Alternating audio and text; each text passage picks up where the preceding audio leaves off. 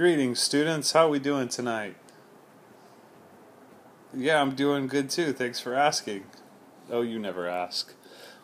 Okay, so uh, what's on this video? Well, this is, video is all about solving 2 by 2 systems. Sorry, let's go over here. Um, the ways, uh, methods we could use to solve 2 by 2 systems include graphing, substitution, elimination, row echelon, and using inverse matrices.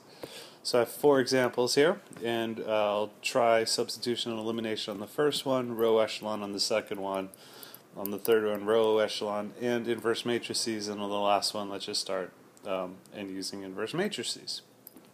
Now the way I design these videos is they're try-along, so I encourage you guys to try the problems yourself, um, pause the video, try the problems, and then um, you can listen to me work out the problems. So um, if you want to try number one, go for it. Okay, number one asks first to use substitution, and uh, just a heads up if you were confused, this was a Y, not a 4. Um, I apologize, writing on the stylus isn't very easy for me. Um, so what we can do here is solve for Y um, in equation number 2. Solve for Y. I'm going to substitute that back into equation 1 and then solve for x and see what happens. So I have 3x minus 8 plus 8x equals 1. Um, add 8 to the other side, combine my, uh, there we go, combine my x's. I have 11x, so I get x is 11 ninths. Now I can substitute x equals 11 ninths, say into the first equation,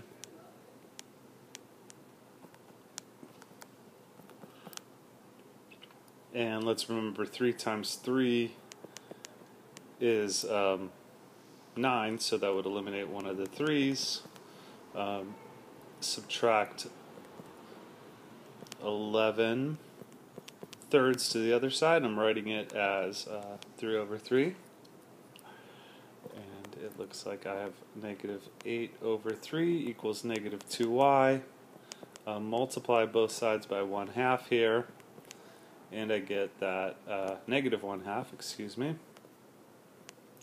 I get that y equals 8 6, which reduces to 4 thirds. So my solution for this using substitution should be um, x was 11 ninths, y was 4 thirds. I could have solved that as well using elimination, so let's just see how I would have done this uh, using elimination. Um, I look at this, I go, okay, I got a plus y and negative 2y. Um, let's just multiply this side by positive 2. And uh, doing so, I'm going to leave the first uh, equation alone. Uh, 4x, excuse me, not 4x, I'm doubling it, so it'll be 8x plus 2y equals 8. Uh, can add those together of 11x equals 9. That looks familiar. And I get x equals 11 ninths. And um, I guarantee if we put it back in there, y would equal 4 thirds. Okay, let's try number 2.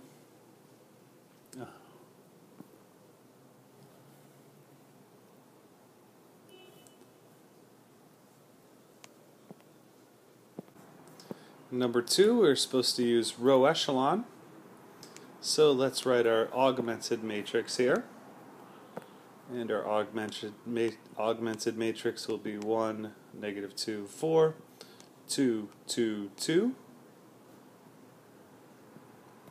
Um, so my first step, as usual, is to get this guy right here to be a 0.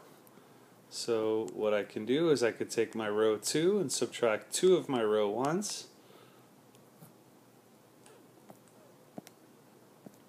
And in doing so I get uh, 1, negative 2, 4, um, 0, so it's uh, this minus 2 of those, that's going to be 2 minus 2 times negative 2, it's going to get me positive 6, and uh, this 2 minus 2 of those is going to give me negative 6 here. Um, so clearly here, hopefully you can see this without having to do another step, but this is 6z equals negative 6. So, oops, sorry, not z. Um, 6y equals negative 6, so y equals negative 1. And we could put negative 1, let's say, into the first equation. And I hope you see that this is going to be x plus 2 equals 4. And clearly here, x has to equal 2. So my solution here should be 2, negative 1. That wasn't too bad, right? Well, let's try number 3. So number 3 I want you to try in two different ways, row echelon and using inverse matrices. Okay, so row echelon, that's exactly what we just did. Um, so we'll have negative 2, 4, 3, 1, negative 2, 8, um, so again, I want this guy to be 0. Well, if I take two of my row 2's and subtract one of my row 1's, I will get that first term to be 0. Then that's negative 2. It's a minus there. Um, so that's actually going to make that a plus because I can't read my own handwriting. Alright, so two of these uh, plus one of those, two of these plus one of these. That's also going to get me 0, isn't it? Oh, yes, it is. And two of these um, plus one of those will get me 16. Will get me, sorry, 16, 19. Okay, something happened here. I got double zeros. Uh, I eliminated both my x's and my y's. And if this number isn't zero, what that means is I have an inconsistent system. And there's no solution. Um, if we actually look carefully, um, all I have to do is multiply this one by negative, uh, by negative 2, and I get uh, not the whole equation, but I get this part of that equation. That's telling me here I have two parallel lines that will never inter intersect. So these will be inconsistent. Now I wanted to talk about the matrix method too here. If I were to use the inverse matrices here, um, this would be my coefficient matrix A. And my uh, solution matrix would be 8. Sorry, 3, 8. Now in finding the uh, inverse matrices, in, inverse matrix of, of inverse A, uh, if you recall, I'm kind of used this formula here in class the other day. I said that if you want to find the inverse of a um, of a 2 by 2, what we can do is, is do 1 divided by the determinant, and then we switch the main diagonal and we make the minor diagonal negative. Well, let's see what happens when I look for the determinant of A. Um, the determinant, as we recall, is this diagonal minus this diagonal, so that's negative 2 times negative 2 minus, uh, 4 times 1. That's going to be 4 minus 4. That's going to be 0.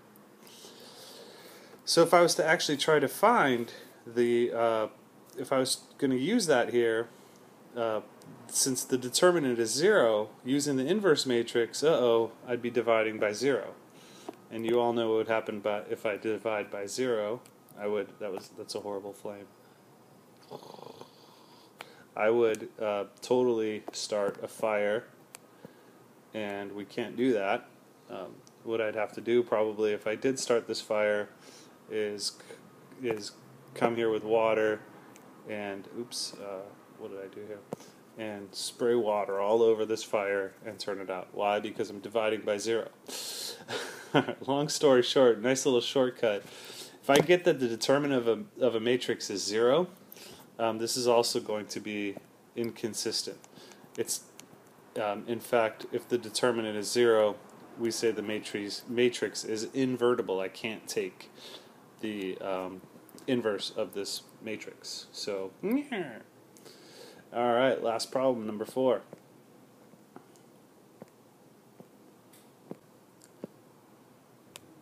So number four, we're going to try doing um, strictly this time with uh, using the inverse matrices, and I think this time this one will work. so this will be my matrix A. My matrix B will be my solutions there, 1 and 4. And what I need to do is find A inverse. Uh, so I'll do it this way, the way I originally taught you how to um, do the inverse matrix. So again, like usual, my goal is to get going to be to get that one a zero. So what I can do is if I take two row, uh, take my row two and minus two row one, that'll cancel that out. So I haven't done anything to the first row yet. So it was uh, one of these minus two of those. One of these minus two of those will get me negative one. One of these minus two of those will get me negative two. And one of these minus two of those will get me um, one. Uh, let's see. Next thing I want to do is make this guy right there a zero.